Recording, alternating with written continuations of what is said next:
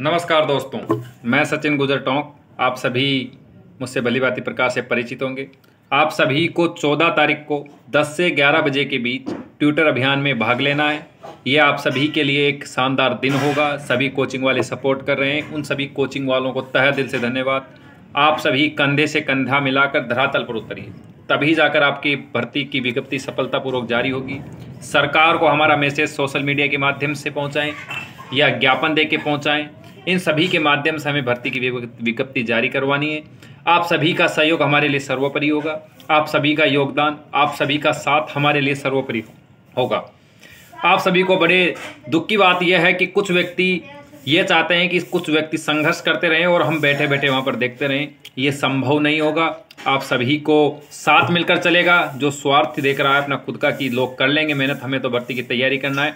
फालतू चीज़ों में ध्यान नहीं देना है। तो वो एक उनकी गलत धारणा है। जिस दिन हम कुछ व्यक्ति संघर्ष करते हैं, अगर हम पीछे हट गए तो भर्ती आना चार पाँच साल तक मुमकिन नहीं है। कोचिंग वालों को हमने मजबूर किया है कि, सर, आप कोचिंग के लिए, आपका हम साथ देंगे, आप हमारा साथ दो।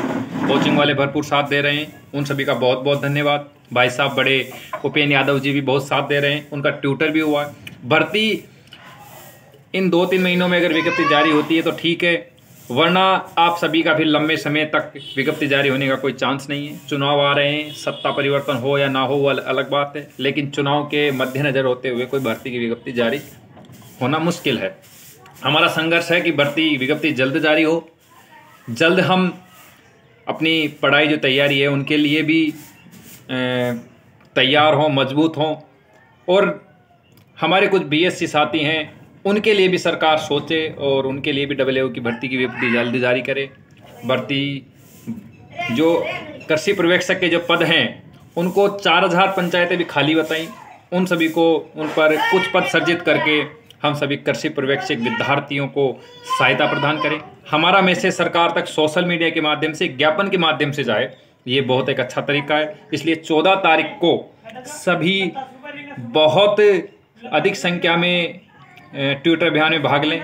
कोई भी स्वार्थहीन ना हो और कंधे से कंधा मिलाकर भर्ती की जो प्रक्रिया है उसको पूर्ण करवाएँ।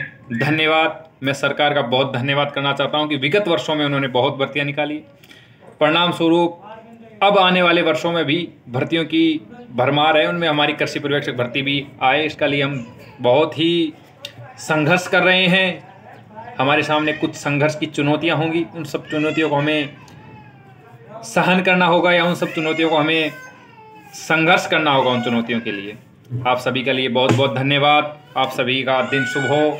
चौदह तारीख, दस से ग्यारह बजे के बीच आप सभी उपस्थित हों।